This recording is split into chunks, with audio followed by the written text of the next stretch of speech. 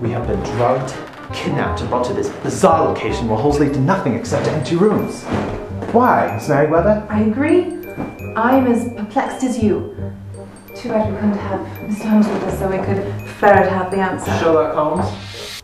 I dare say we have no need of his services. Truth be told, sir, I do feel his rival, Professor Moriarty, is every whit as brilliant as he.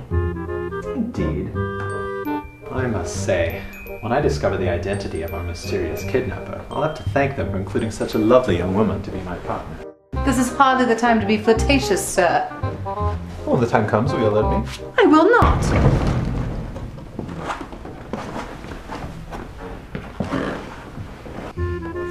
Have you forgotten the strategy of a good mystery? Before one blasts out an accusation, he must use logic and sort out all the clues.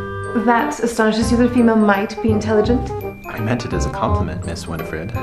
That is Miss Merriweather to you, sir.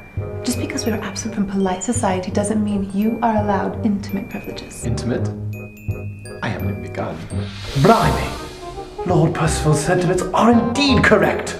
I believe you could work with Mr. Holmes. Don't compare me with him? Forget Holmes, will you? We must concentrate on the matter at hand. You know, I've decided I rather don't enjoy being thrust into the middle of one of your mystery stories. I hope you forgive that I didn't ask your permission before behaving in such an intimate manner. And I suppose Sherlock Holmes can deduce the meaning of this? What's that noise?